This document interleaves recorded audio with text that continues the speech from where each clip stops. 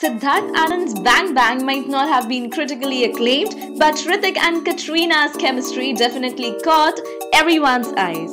The action packed movie was one of the biggest hits of 2014. Siddharth Anand is looking for a similar couple in his sequel. Buzz was blown on air about Siddharth Anand feels that Sidharth Malhotra and Jacqueline Fernandez are the best couple for his sequel. While nothing was made official, but there were speculations that we would see Sidharth and Jackie in the Bang Bang sequel. However, recently in an event of the launch of LeEco phone, Sidharth Malhotra and Jacqueline Fernandez cleared all the speculation regarding this sequel, claiming that this is an all-new one and no sequel of the movie Bang Bang. They also looked quite excited for the same.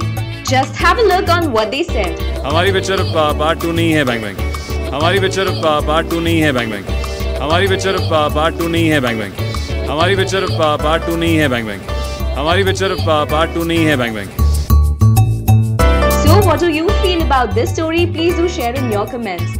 And for more Bollywood updates, please subscribe our channel Bollywood Inside Out.